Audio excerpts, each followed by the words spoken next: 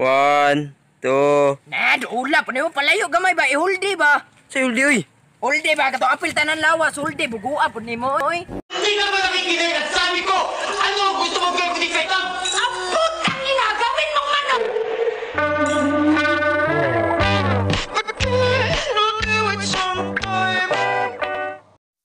Guys, huwag kayong mainggit kung yung ulam sa kabila,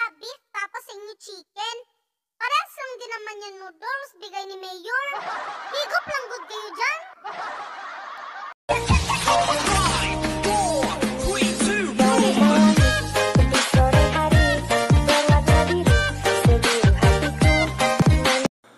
Ano gusto mo sabihin kay mama mo, kay mami mo? Mami, mahal na mahal din kita. Ineng, bakit ka umiiyak? Sabihin mo sa akin. Ah,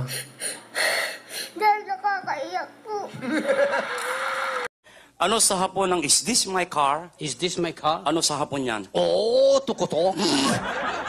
Talagang tinatarantado mo ako, Sino no? ba nag-aral? Ikaw, O racket ko to. isa pang English gagawing hapon. Sure. Serious na. Serious. Mingawa, Dres Mental Hospital, oy. Mong nakahuna-huna ako nga. Akong sulat pa na akong kaugalingon. O niha, unsa may sulod sa imong suwat? Wala pa ko kibalo kay surad si Mana pa man ako madawat.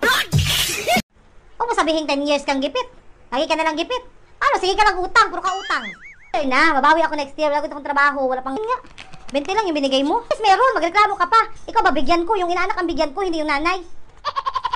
Ano ba, ba yan? Busy ka?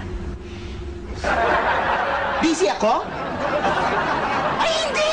Wala akong ginagawa. Hindi ako nagmamadali magtrabaho. Hindi ako sub-sub sa trabaho. Ganito talaga itsura ko. Pag nagre-relax, hiya-hiya naman ako sa yada. Grabe no? Iba na talaga ngayon. Uso na ang baliktaran. Kung dati, idol, ngayon, lodi na. Kung dati, mayor, ngayon, yorme na. At dati, mahal ka, ngayon, hindi na. Makigbulag ka na ako. Oo! Magbulag ko nimo. Kita ko kay kag lawas. Unya, gamay kay kag oten. Sa mga single dyan, payo ko lang ha, huwag kayo magmamahal ng mga traveler. Sarili nga nilang bansa, nagawa nilang iwan, ikaw pa kaya?